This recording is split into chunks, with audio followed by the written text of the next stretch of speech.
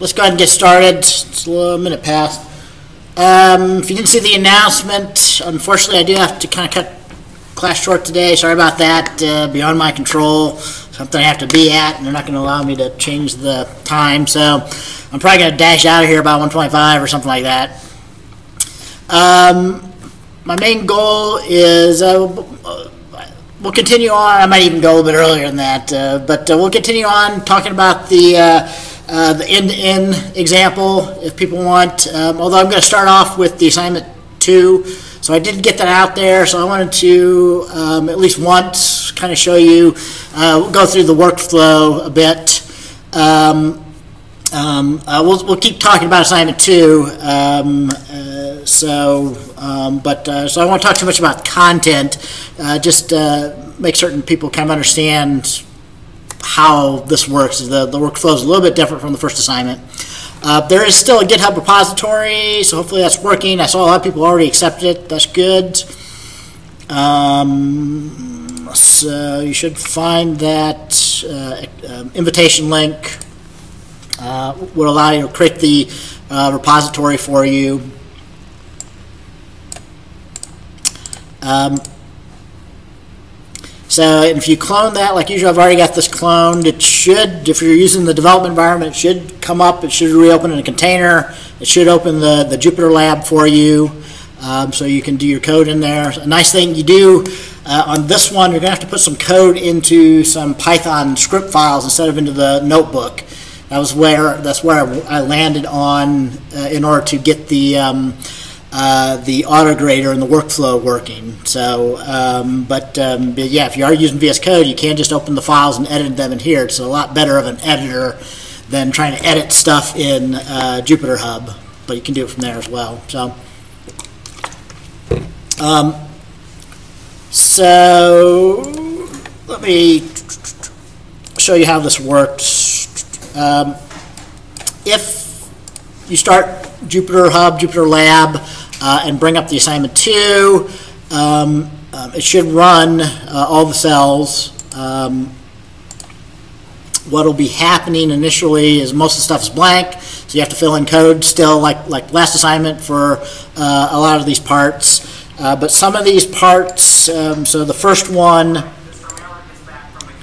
is that um, um, at particular points um, I ask you to actually put code into a function, um, and it's actually going to call that function. It's going to run tests using the doc test on that function. All right. So just to show you on this first one, uh, so, so the, the notebook ran, but but when it ran the tests, uh, these mean that they're all failing. So you know it was trying uh, a test where it was expecting that the intercept, if you fit the model, gets this value um, and uh, right now, um, it's um, uh, returning zero, right? So, so it's expecting that, and it's returning that, right? And it's actually returning zero for all these, right? So um, uh, for this second assignment, you're going to be building uh, a regression model uh, in using scikit-learn and using stats model. So using two different libraries to to build the same regression model. And then also we're going to build a classifier using logistic regression.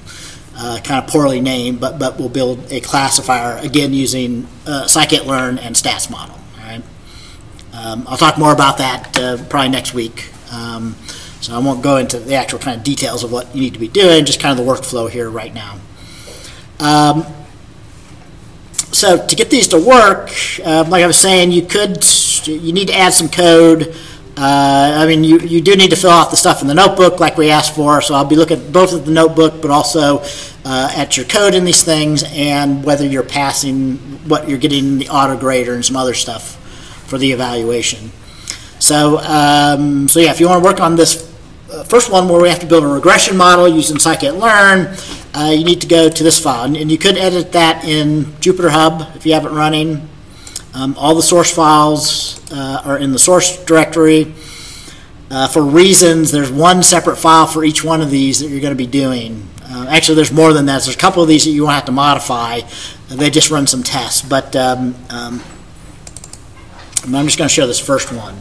So you could edit it in here uh, in order to do your stuff to uh, build a model uh, using scikit-learn. So build a logistic regression model using scikit-learn, and then you have to extract the parameters, the intercept um, and the slopes, um, and some measurements, and return those from the function.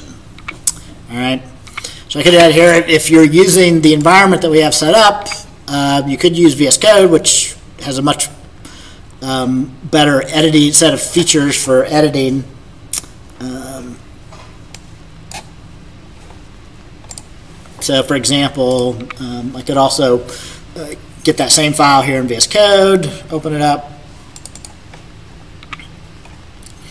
So uh, I want to show you how to do it. So right now, when you first get it, it just always returns zero for these. So that's why um, um, when you do your initial run, none of these will be passing.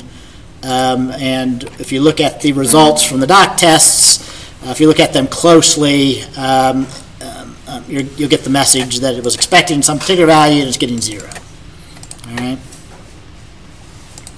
So of course, this won't earn you any points, but you could actually get this to pass by just returning what's, what it's expecting, right? You need to actually build a model, fit the model, uh, and extract these parameters and, and extract these values and return them.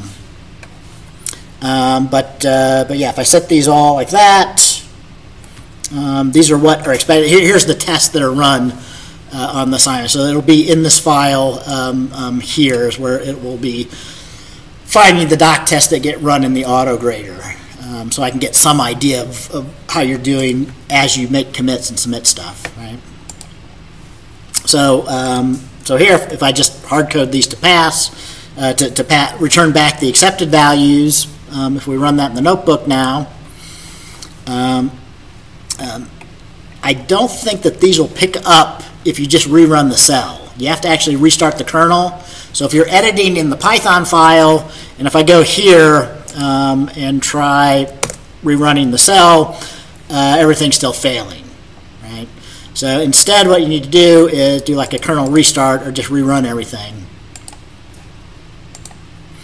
And then it will like reload the Python file uh, with the changes you made. So a little, I, I I don't really like that workflow, but that's where I'm at right now. I'm hoping to improve on this. Uh, I keep trying to figure out, learn new stuff about uh, using GitHub Classrooms and stuff.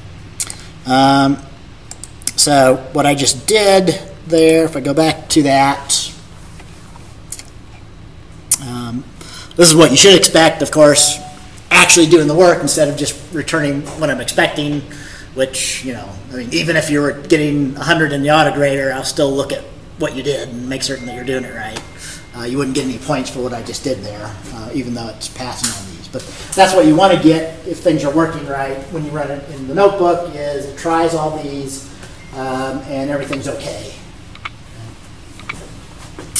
And I would encourage you to, to do this incrementally. So if you got this working for task one, you got your scikit-learn model passing at this point, you might want to make a commit um, however you did commits before, you should be able to do, still do the same thing. If you're using the environment setup, you can use VS Code inside the dev container. It's a nice uh, way to um, um, access the, the Git functionality to make commits and push stuff.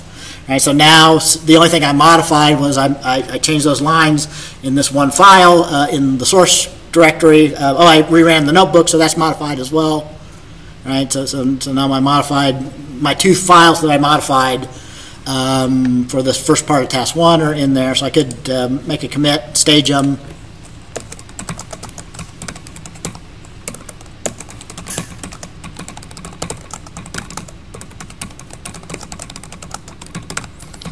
Uh, make a commit and push it. Um, sync it up.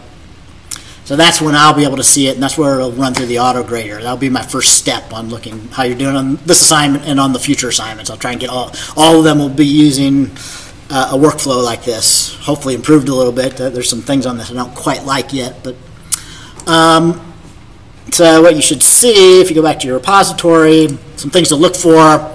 Um, you should see everything that you push show up on your feedback pull request. So that's the one that I just did right there. Um, what you should see if, if uh, uh, um, the most recent commit, if I go back on that real quickly, uh, will get run in these GitHub actions. Uh, That's what I'm calling the auto grader here. So you should see how it did. If you look at the details of the most recent commit will show up in here. So stuff that is, is is still actually running, you can actually watch it run, but you don't have to see it live while it's uh, running the test. You can go back after the fact, um, once it's finished and access it there as well.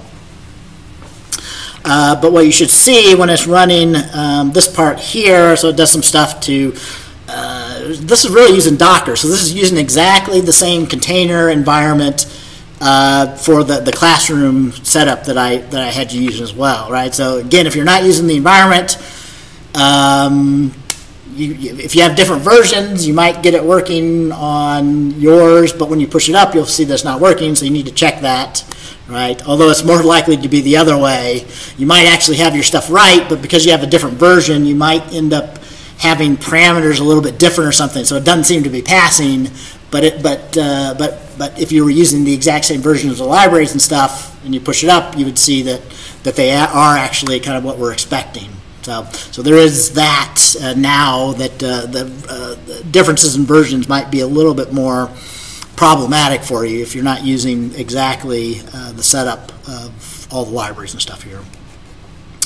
Um, so anyway, yeah, looking at this, I mean, it actually runs a, a dev, uh, a Docker container, uh, installs Python and installs the exact versions of NumPy, SciPy, and all the stuff that I think is most important uh, that we're going to be using for these assignments. Um, it does do one thing to check that your notebook is running cleanly. So if your notebook isn't running cleanly, you won't pass this first one. Uh, you lose points on that. But if your notebook isn't running cleanly, there might be other stuff as well that's not working. But this is checking it. This is actually rerunning all your notebook from top to bottom every time you check in. Uh, and then it runs all those tests like I just showed, the same one. Um, I was expecting this to pass though, so let's see here.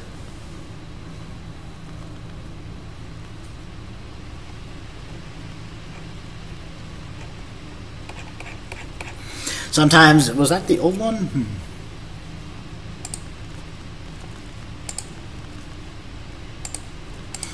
Look at that again real quickly here. So, so yeah, I put that up there. Let me see if I showing that file changed. so if I look at my files that were changed, uh, yeah, so it's got the code in there. It's just uh, at, it's just setting the parameters for all those and returning them.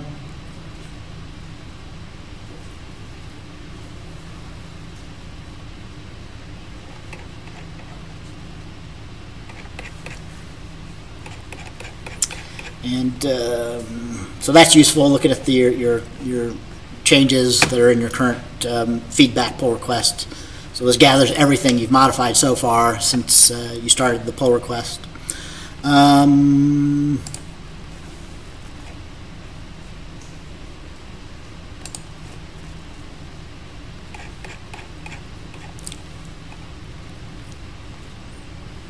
Okay, yeah, I'll have to investigate that, so, um, uh, yeah, if things are working, and if you've got it passing, um, on your, when you run it uh, on your local and you push it up, you should see it passing here too. Um, hopefully, I'm, I'm, so there, there might be, still be some bugs on there, I'll, I'll check that out.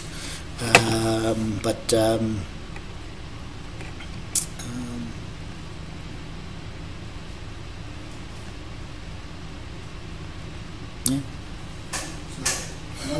Sure. If it wasn't a machine and I do a screen recording to prove that everything running properly and stuff, I allow it. No, I mean, the, the, yeah, the, the, the test is, it it runs on my machine and runs here on the GitHub, yeah, so. Uh, It, it needs to run in this particular environment, yeah. Um, but yeah, uh, that was a little bit unexpected, uh, that should work, um, I'll, I'll check that out. Like I said, I'm still working out some kinks, so there might be something that I forgot there. Um, um, all right.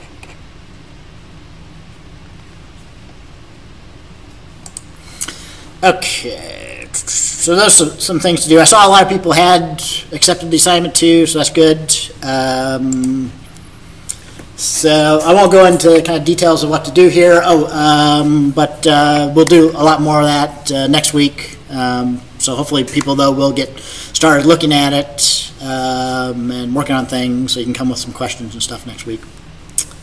Okay? I'll keep checking that to, to see. Hopefully there's, uh, hopefully that isn't an issue, but uh, I'm not certain why that wasn't showing up the way I was expecting.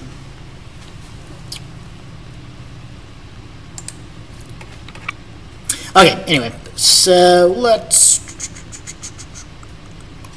let's go ahead and uh, go on to some other stuff then. So let me close this off.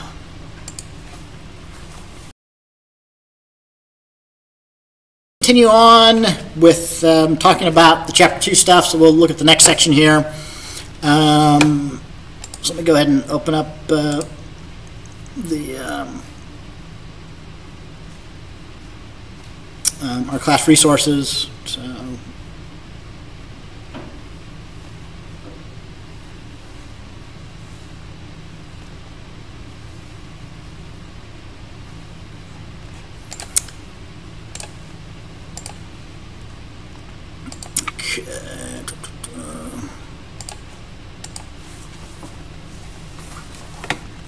Um,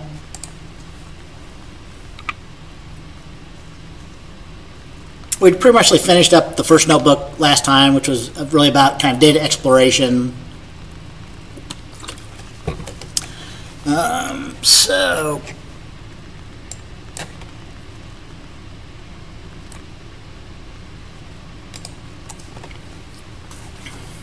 um, if you haven't done a Git pull recently, um, uh, yeah, last time I had noticed I hadn't gotten some stuff in there, but um, I've got a lot more stuff. So the for the up through week seven mostly uh, is up there, and I rechecked everything, make certain everything is running. So you should do a Git pull.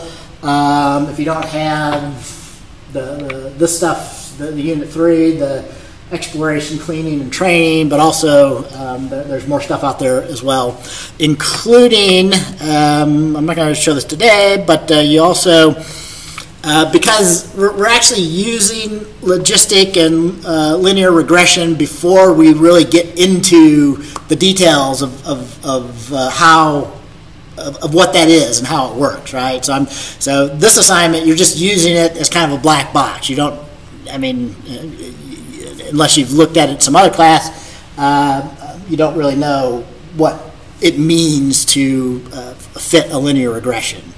Uh, but yeah, I mean that's um, uh, we will get in kind of the details that, we will look at linear regression and logistic regression, uh, kind of how it actually works, um, and a little bit of the mathematics behind it, that kind of stuff. But um, um uh, for this assignment, uh, I'll, I'll, probably do this Mon- Tuesday next week. Um, there is also a fourth notebook, um, kind of with the similar kind of things you have to do, but on a different data set in there. So you can you can start by looking at that, um, and I'll talk about that next week. So, um, okay.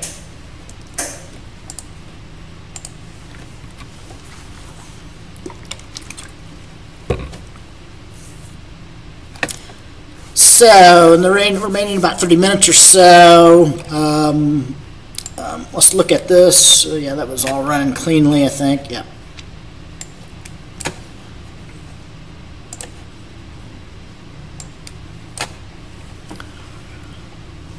Um,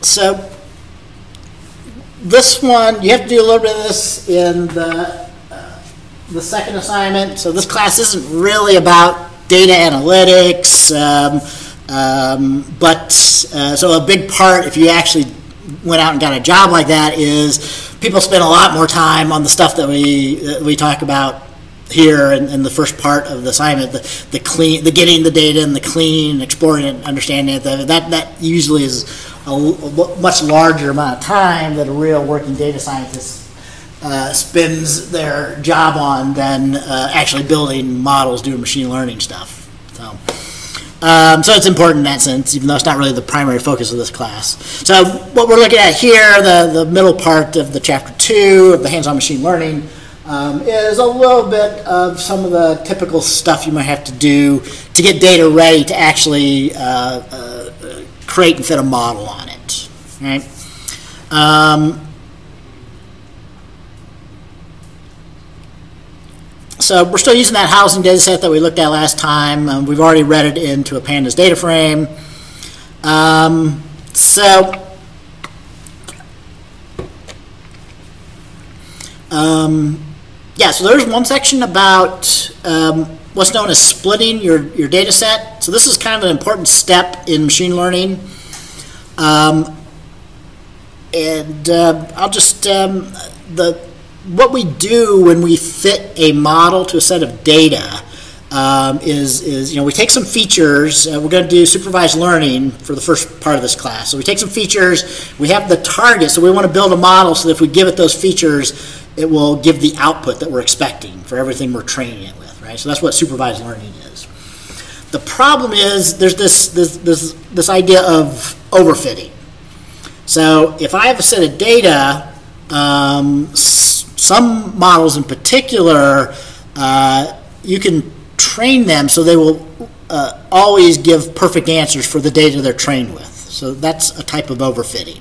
What that means is for the input data, they will give exactly the right answers for all that input data. Right? Um, that may or may not be a problem. It's a problem though because the way that you really want to use a, a model like that, that, that we're using supervised learning to, to fit, um, is we want it to make predictions on new data, on data it wasn't trained with. Um, and if it's overfit, um, it will be bad at generalizing. All right. And that's a, that will be a big topic of this course. When, uh, um, we'll talk about overfitting versus underfitting and what you can do to fight overfitting. It's always a battle for supervised learning uh, to get your model so it generalizes well on data it wasn't trained with. Okay, so this is a big problem. So the, the first primary way that we battle that is if we have a set of data we want to build a model on, we might not build it on all the data. We might split the data in half, or typically we split it into like about 80% we'll use for training, and we'll split off 20% or something like that. We'll hold that back for a test set. Okay, so the reason why you do that is um, um, you can train it on just that 80%. You can evaluate uh, like then if you feed it back in and say, okay, what is the accuracy? How well is it doing per, on predicting on the data set that we trained with? Uh, it might say it might get be 100% accurate, so it might do really well. But that's not a good measure of how well your model is doing. A better measure is okay. Here's some data you never saw before. How accurate are you on predicting that data that you weren't trained with? So, you know, that's, it's common, I mean, not only common, you'll get yelled at if you don't do this, if you're trying to fit models. You really, the, the real question is, how well does your model perform on data it wasn't trained with?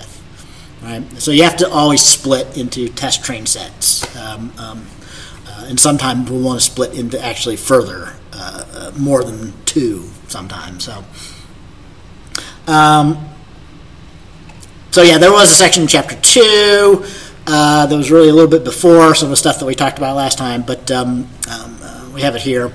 Um, the, the simplest, there are functions in scikit-learn that will do this for you, which you probably want to use those functions, uh, but you can easily do basic splits by hand. Um, so there are a lot of subtleties on this. Uh, so um, um, yeah, let me talk about a few of these. I'll let you guys uh, you should, of course, read the textbook uh, to get a lot more of the details of these things. Uh, but uh, for one, you always have to be careful when you're splitting. So here's a common thing on a lot of data sets. You might find if I have a data set with 100 items, uh, and maybe it's a binary classification, it might be that the data set is sorted. So it might be, so my label is like yes or no, but it might be that all the yeses are in the first 50, and then all the no's in the second 50. So if you naively split like 80%, your test data, your, uh, your test data, so this is my 20% test data, is all no's, it's not, it's not indicative of the actual data you want to train with, which has an even split of yeses and no's. You'll get a bad model if you do that. Right? So, you know, certainly have to be, you don't want to, you want to, don't want to naively split like that, especially if you don't know if it might be sorted. But even so, even if it is kind of um, um, a bit mixed up, still just splitting like that, you might get a bad sample. So you have to think about the data, um, how representative, representative it is of the model that you want to fit it to, which is, uh, uh, the, this chapter goes into that a little bit.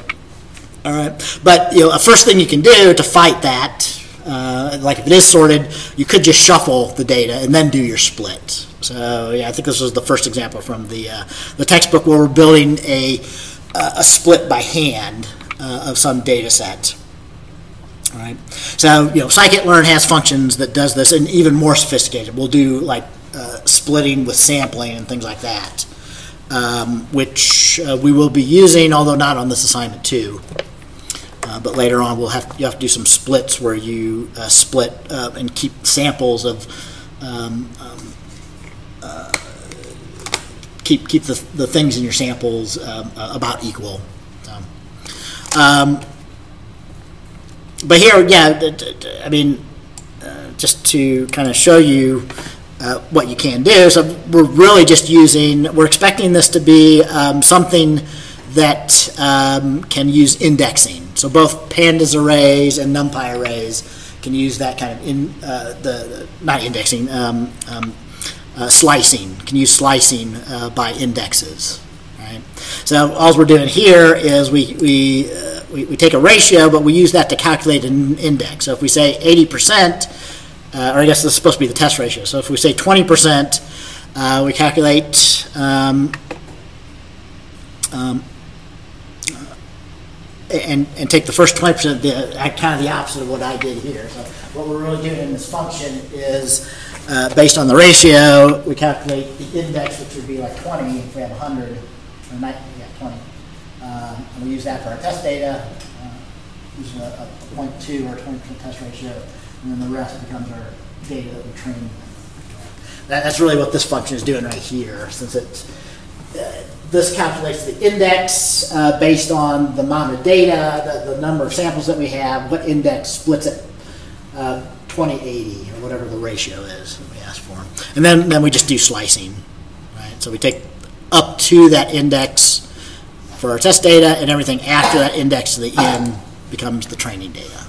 Right? Although notice, um, uh, so I skipped over, so we, we were we're using some fancy indexing here again. So this, is- this is good that, uh, that if you understand uh, the way like NumPy uh, and Panda's fancy indexing work. So we, we take um, uh, all the indexes from zero to the number of, of items, the number of rows, number of samples that we have in the data set. So that should give us an array from zero to 99. If we have 100 here, that should use zero indexing here. If I have 100 samples, we can think of them as indexed from 0 to 99. Um, and, and it, this permutation just shuffles them up. It's like sh- shuffling a deck of cards, right? But now that we have that, we've got a list of indexes all, I know I've got every index just one time, but they're all randomly shuffled up. Um, but um, uh, doing this here, so we, we take the first 20 of these that are all shuffled up, um, um, and, and this is this is really doing some fancy indexing. We're passing in an array of integers, so so just those uh, indexes uh, end up um, uh, being pulled out from there.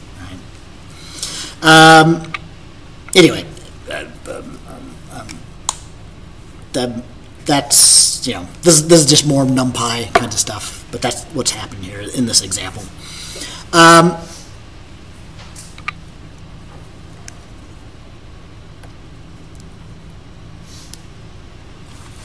Yeah, I don't know how much of these issues I want to go into. So sometimes it's important that you always get the same data in your split, right? So if you have to reproduce, uh, I mean, you can either just split it once and somehow save that test and train data, or you can do things to ensure that you'll always get the same shuffle or whatever, right? So that, that's what's being discussed here, where we set the seed to try to make certain we get the same shuffle uh, each time that we do this, like that. Um,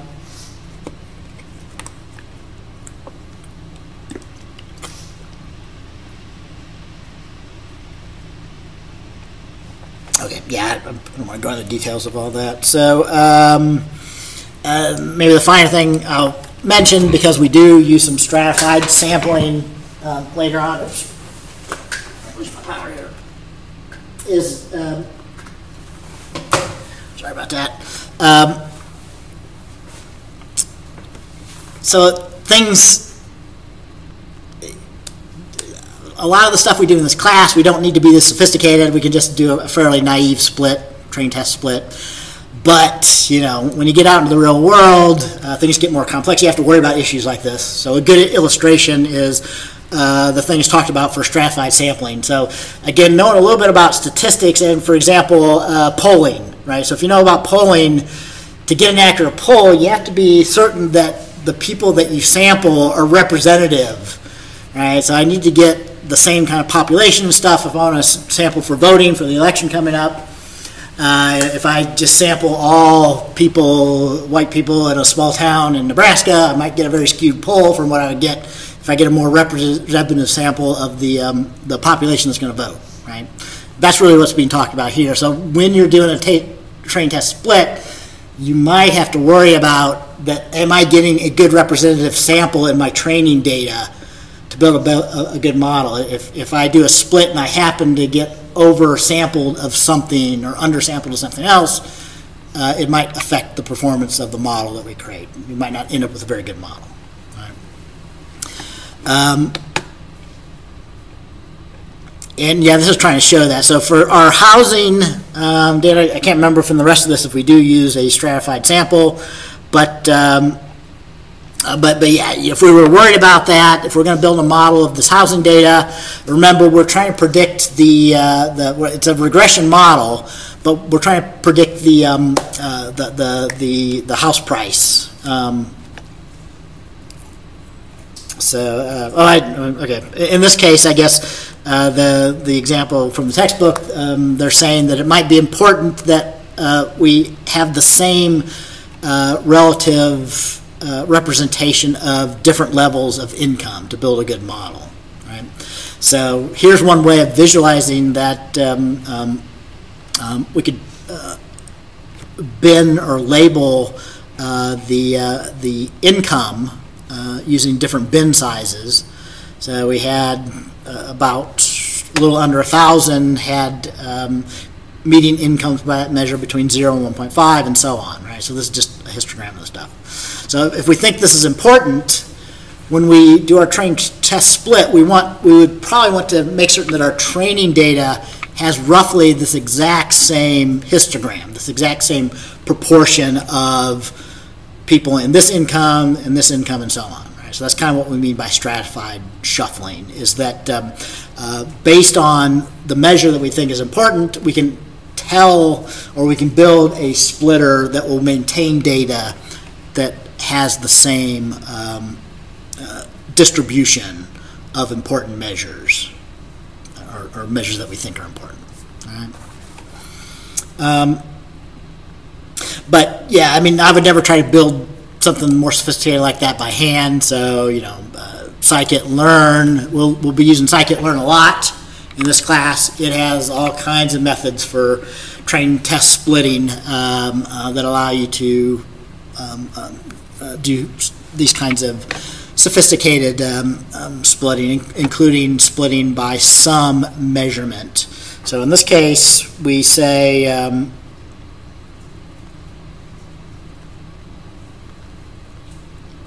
uh, the important thing is here. Um, um, I can't remember uh, the the for loop, what we're doing here with the for loop, but um, um, basically by setting it up using the stratified shuffle split, uh, the second parameter here makes sure that the, the, the data has that same distribution um, as is showing in, in this housing income category that we pass in as a second parameter.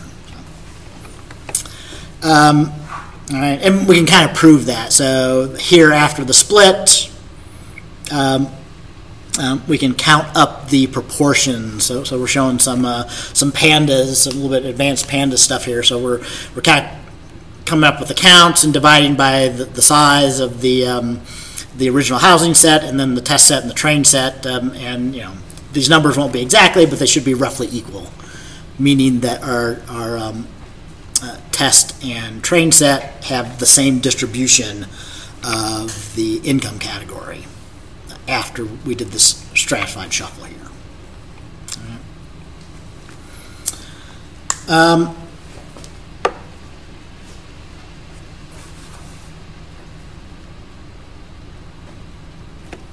Okay.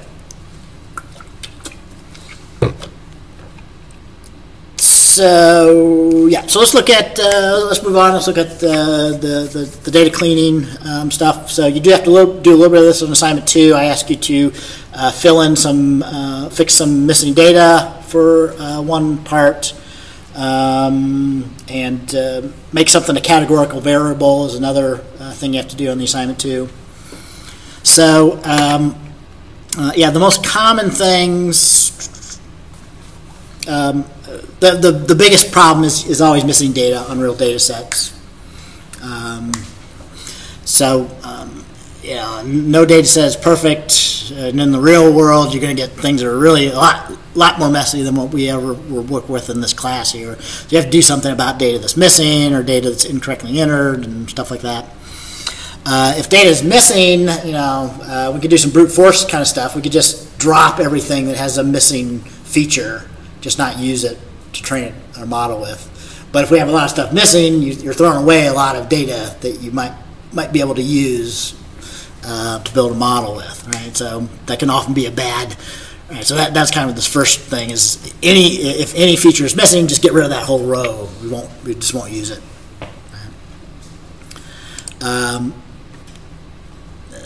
this one is probably, so to get rid of the attribute or get rid of the feature, so we're talking about getting rid of a column. Again, you know, you're throwing away something that might be potentially useful, but if that column doesn't look like would be useful anyway, that might be an obvious thing to do if it's got too much missing data. Um, um, but yeah, if it's going to be useful, uh, and too much is going to be relative, right? So if only 50% is, is uh, of the data for some particular measure is filled in, I mean, are you really going to be able to, to fill in that missing stuff in a way that actually helps you build a model, right? So, so, but yeah, I don't know what a good rule of thumb would be, right? So if, if you've only got 10%, you know, maybe it would be useful if that feature is going to be useful for building a model to try and impute the missing values to fill them in. If it's 50%, it's probably kind of not not useful. It's, it's going to be hopeless. You, you won't be able to, to impute good values for all the stuff that's missing. You don't have enough information uh, to, to make that feature um, useful. So, uh, but yeah, assuming that we think it's important enough um, and there's not too much missing, we might want to do something to actually fill in those missing values. Um, so what I ask you to do on the second assignment is just uh, the, the, the, the easiest thing to do is figure out what the mean value is, and anything that's missing, just fill it in with that mean value. Right? Um, so that uh, works okay as long as too much isn't missing, because you know if it's missing, the mean should be the closest to what the actual value is uh, of, of that missing value than any other thing, right? Um, there's other things you can do. So yeah, if you ever get into like Kaggle or other stuff, or doing real uh, uh, data cleaning like this, you might have to build a different machine learning model to try and predict what that missing value would be based on other features, right? So, so some things that are really important, you might want to take the effort to uh, uh, try and come up with a value that's more reasonable than just filling in the mean or putting a zero in there or something like that for the missing value. Um,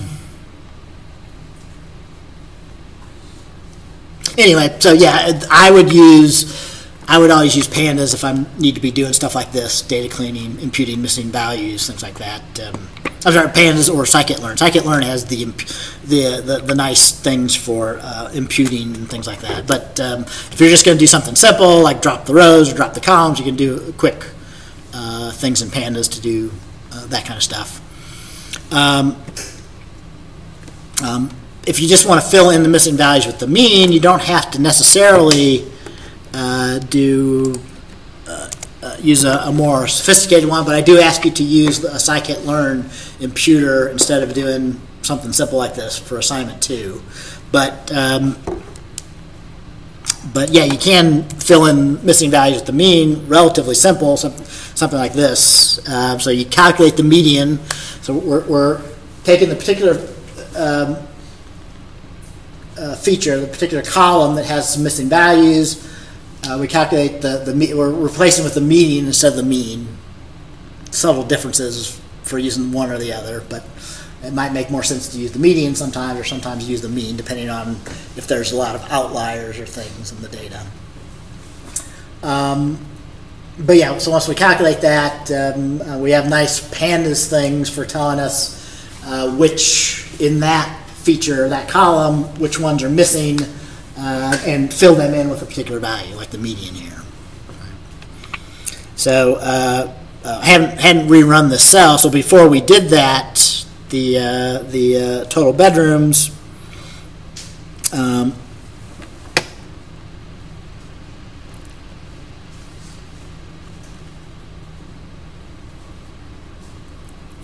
um, was a little bit, it was missing, so if you look closely, you know, it only had sixteen thousand three hundred fifty-four, where everything else had 500, 16,512. So it was missing a couple, two hundred, uh, less than two hundred, uh, values in there. So if we fill it in with the mean, I don't know if I have to rerun this, but, uh, I have to rerun this.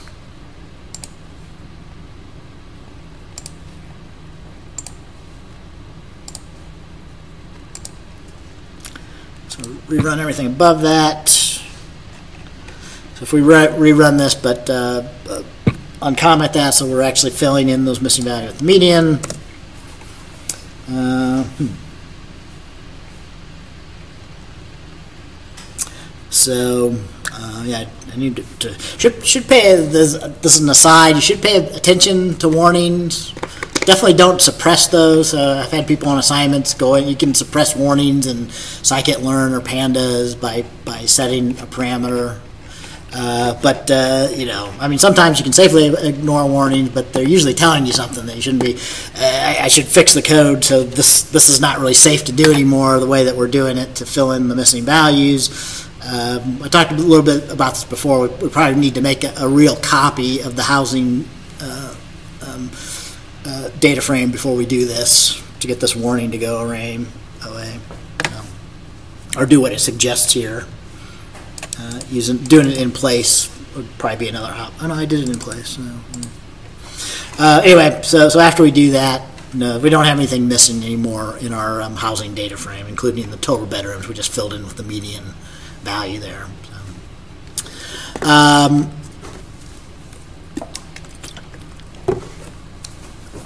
all right. Um, but you should use the uh, use an imputer from um, scikit-learn instead of doing it by hand for the assignment two, just so I can see that you uh, kind of learn how to do these kinds of things. So, so scikit-learn has uh, much more sophisticated uh, things for imputing missing values, but the, the simplest is uh, im- im- imputer just means you know uh, making up or, or inferring uh, what value uh, to, to put in uh, to a missing value, right? But so you can use simple strategies, mean or median or zero or some hard-coded value to, to fill in any missing things. So, um, so yeah, the, the way these work, I, next week I'll talk a little bit more about the, um, uh, the API for the scikit-learn framework. So you'll see this pattern used a lot though. So if you create an object like this uh, imputer, um, basically um, um, you'll give it some parameters, but then you'll do a fit uh, on some input, and it will return um, um, uh, uh, that you do a fit transform is the, the basic API for a lot of these, uh, what are they called? I'm going to draw blank. Uh, but, but a lot of, of objects in um, scikit-learn work this way. So you first, uh, fit is kind of, is building a model, so you actually do that when we're building like a logistic regression model, uh, and then we transform. So, so once we've figured out the parameters for the imputation, uh, we can transform that. So in this case, the transform after we we fit the imputer, if you pass in uh, a data frame, it will fill in the missing values with the median. Uh, so the result is a new data frame that we renamed X with the, with the values uh, uh, uh, set to the median um, that were passed in there. So yeah, I guess the, the reason why I had these all commented out is we can do the same thing using the imputer um, um, in the next cell below here.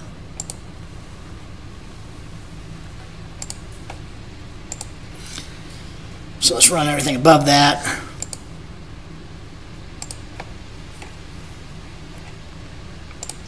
Um, create our imputer. Um, so here, um, this will fill in a missing value for any column. So basically, what came out of here was the median value for each one of the features that we had. So if anything, if, if anything was missing from these others, it would use that to, to um, to fit in. In fact, you know, this simple strategy, the median should be the um, the same as the 50th percentile right here. So for longitude, it was one one negative 118.51, and so on. But that's all that happened with the fit is it figured out the median value, our strategy for each one of the features. If we actually perform um, if we actually perform, do a transform, um, now,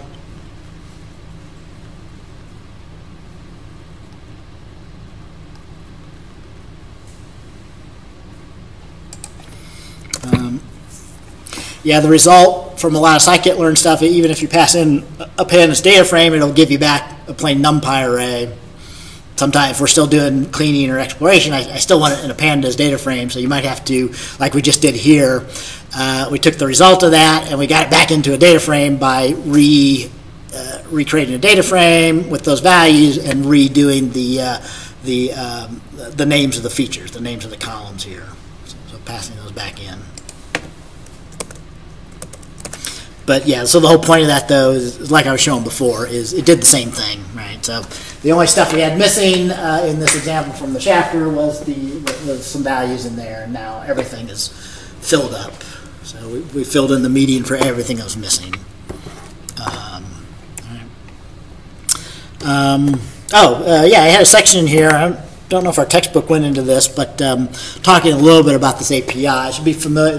The, the API is a little bit of a function, functionally oriented kind of way of doing things, uh, but it's also object oriented. So um, um, uh, we will be using this a little bit for some of our assignments. Um, so yeah, there are three. Uh, these are the names I was trying to remember. Um, um, so it's got these three main kinds of things: estimators, transformers, and predictors. Um, so uh, we, we do use some examples of this below here. Uh, The, the textbook uses this in here. So we will be uh, actually creating an object uh, and using this idea of duck typing. Uh, so if it, if it looks like a duck and quacks like a duck, you can treat it like a duck. That's kind of what happens here for this API. So we can create something that has the basic methods of a, um, of a transformer uh, and, and pass it in or use it in scikit-learn anywhere it expects a transformer. All right. Um, so the, if you did, if you filed the textbook or this um, lecture notebook, you'll see an example of that coming up next here. Um,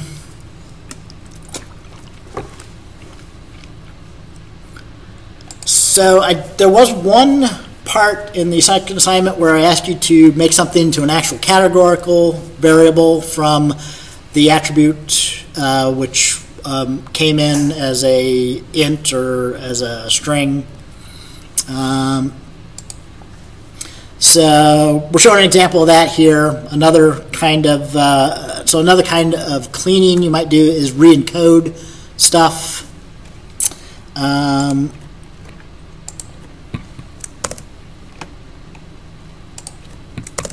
so yeah, we mentioned this on Tuesday. We've got this this variable that probably would be very useful just uh, on the idea that things near the ocean probably have high, so, so communities on the ocean, the, the house prices are going to be higher, so we want to predict higher uh, house price, uh, median house price, and things that are further away uh, would have lower price. So we probably want to have that, that attribute, but um, in order to build models, machine learning models, you have to give numbers as input. You can't really handle strings, right? So, so at a minimum, we have to do something with these that are all coming in as strings or actually objects, which is kind of the default. Uh, when if, if pandas reads in something from a data frame, it does not handle handle, it'll just uh, do it as this generic object.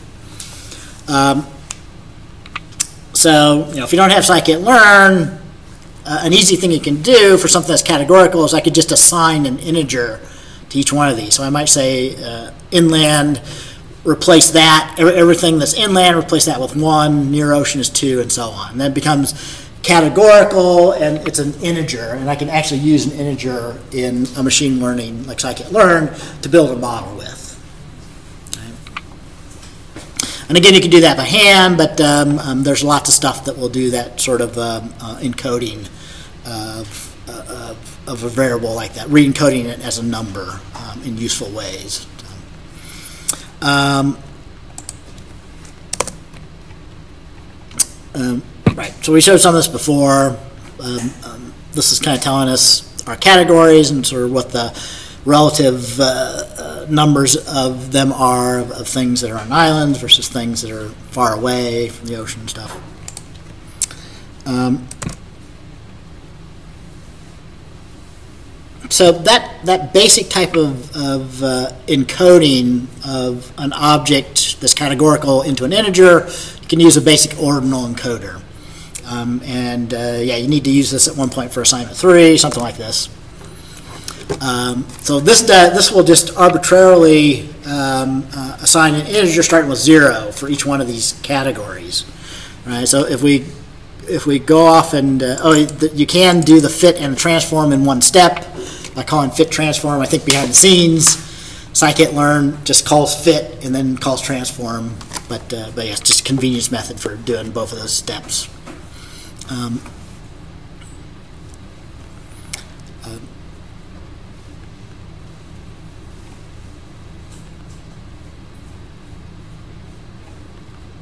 So uh, we'd actually pulled out that column into a separate data frame. So just that one feature is now in this data frame called housing category, right?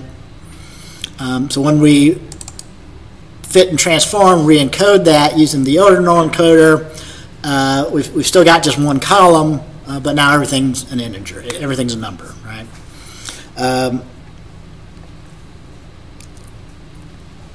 Um, and and uh, we can I can tell the the the encoding that happened. So the I, the first ten items before we did the encoding, it was island, near ocean, uh, inland, near ocean, inland, right?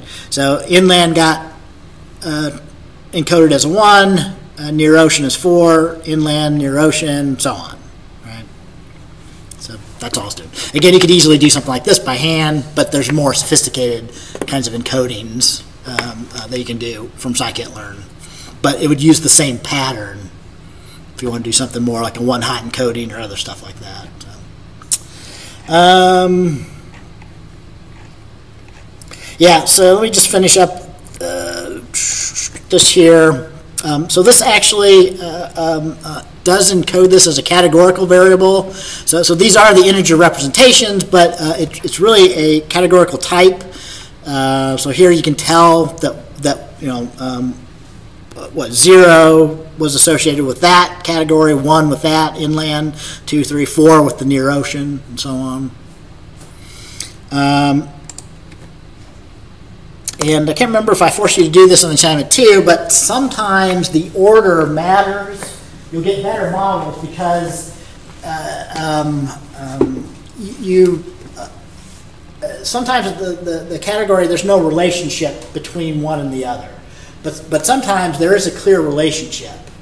Uh, so in this one, there might be a relationship that from near to far, far to near.